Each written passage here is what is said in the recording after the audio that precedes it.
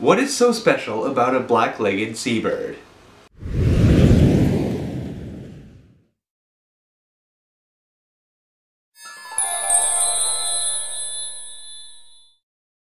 Hey guys, it's Brandon, and welcome to Nature Meets Paper, the place where we go on an adventure to discover the world of marine biology. Today we will be discovering an Arctic seabird, known as the black-legged kittiwake. Are you ready? Let's dive in. Black-legged kittiwake is a small seabird or gull. Their habitat range is coastal seas and coastal cliffs.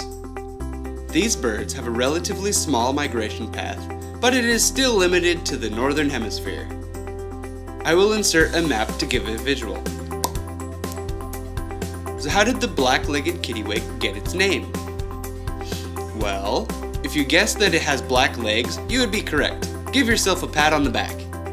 In North America, there are two types of kittiwakes, red-legged and black-legged. In Europe, there is only one species of kittiwake and it has black legs, so they're just called kittiwakes.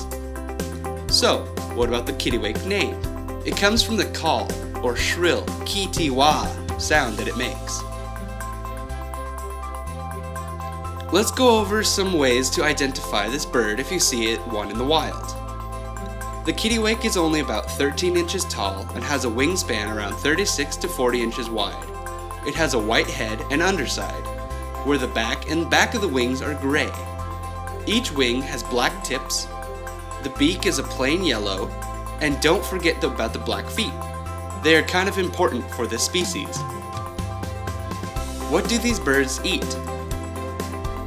If you have large gulls around your area, you might think of them as pests who steal your snack, hang around marinas, or even garbage dumps. But these birds only eat fish. They make this makes sense because of their habitat. Let's get into my encounter with this small bird.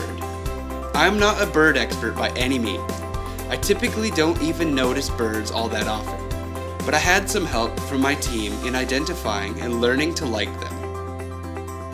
We were watching a large iceberg and had these little gulls flying around it. The sun was shining and casting a soft glow through the ice. I was snapping some pictures when I noticed these kittiwakes trying to compete for the highest point of the iceberg. It was like they were trying to play King of the Hill. So I caught these two birds being illuminated from behind by the sun. The picture was just so crazy that I knew I had to attempt painting it. So here's the finished piece. I want to say thank you for going on this adventure with me. It means so much that you take time out of your busy schedules to watch these videos. If you feel like purchasing a print or an original of the art that you just saw, head to my website. Make sure to leave a like and subscribe. As always, as always, links are in the description down below. Remember, share your discoveries and adventures with somebody else. I've been Brandon, and I will see you in our next adventure.